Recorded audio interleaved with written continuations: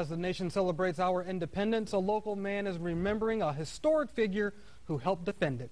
Tonight, 2 News has confirmed the death of Tuskegee Airman H.M. Cummings. Dave DeMarco just spoke with his nephew about how he'll be remembered. Dave?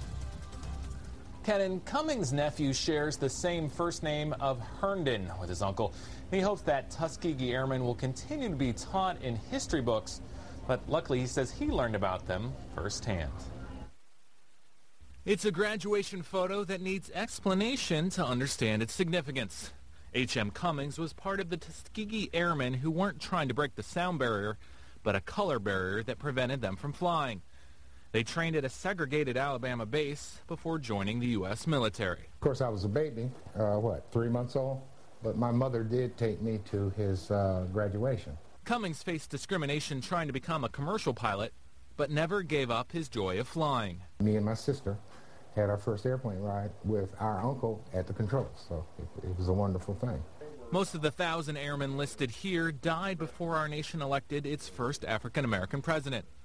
But Cummings survived and traveled to Washington weeks before his 90th birthday to see the inauguration of Barack Obama. I'd say his was even more intense than mine. He, uh, he was a happy man to be there. Today, as America celebrates our independence, Cummings' nephew is thinking about how his uncle helped create the diverse nation so many people say makes us the greatest country in which to live. We're Americans. And uh, despite the hardships from time to time that we had to endure and face, you know, and uh, still face from day to day, uh, this is our country. Cummings will be laid to rest at St. Philip's Episcopal Church in Columbus Tuesday.